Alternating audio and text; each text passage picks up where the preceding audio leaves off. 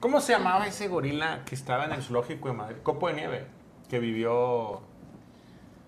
A ver, busquen Copo de nieve, zoológico Madrid, ya murió, vivió muchos años. Un gorila que vivió más allá de lo que... Bueno, si te tocó verlo a ti, yo creo que haber sido hace unos 60, 70 años.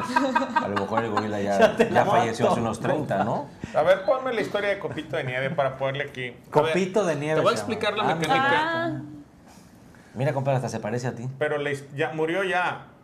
Eh, te voy a explicar un poco mientras busquen la nota la dinámica del programa. En este programa yo me luzco, no a costa de ustedes, no Ah, ustedes se lucen a costa mía.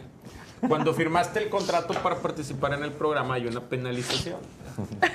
No. Que yo ya, si, si es eso, yo ya estoy, bueno, prácticamente en deuda de por vida con mi Diga, compadre. es el único gorila, gorila albino del mundo del que se tenga noticia, eh, aunque no el único primate. Era de la especie gorila. eh, los cazadores españoles de origen étnico Tan, que lo encontraron en la selva de Nocó, lo llamaron Nufumu, gorila blanco. Estos cazadores se lo vendieron al profesor Joris Sabater, entonces conservador del Centro Experimental Zoológico de del Ayuntamiento de Barcelona, como dependencia del Zoológico de Barcelona por unas 15 mil pesetas.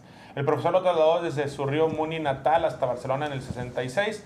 Protagonizó la portada de la revista National Geographic en 1967, lo que le dio fama mundial, convirtiéndose en un símbolo del zoológico de Barcelona y de la propia ciudad. Copito de Nieve fue capturado en la región el 1 de octubre del 66. Eh, más abajo, por favor. Tuvo 22 hijos, de los que sobreviven 3, un macho y dos eh, hembras, 11 nietos y ninguno de ellos fue albino. Llegó a pesar 187 kilos, igual que aquí que Lalo, medir unos 63. Murió el 24 de noviembre del 93 debido a un cáncer de piel que había, había provocado problemas de salud desde el 96 y que está claramente favorecido por su carácter albino. Se estima que tenía unos 39 años cuando falleció. ¿No? Pero era en Barcelona, no en Madrid. Fue un, un gorila muy famoso, ¿no? No me acuerdo por qué saqué del gorila. Porque, eh, ah, ya me acordé, porque después utilizaron ustedes ese tema para agredirme cuando iba a agredir a Edgar, ¿no? Gracias a los tres, se acabó el programa. Bueno.